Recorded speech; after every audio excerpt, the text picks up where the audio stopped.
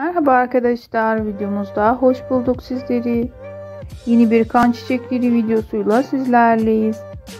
Yağmur Yüksel'in ve Barış Baktaş'ın başrolünde yer aldığı kan çiçekleri dizisine özel setten gelen fotoğraflar ve görüntüler beğeni topluyor.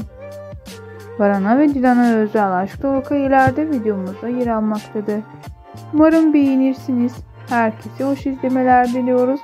Hoşçakalın, sağlıcakla kalın.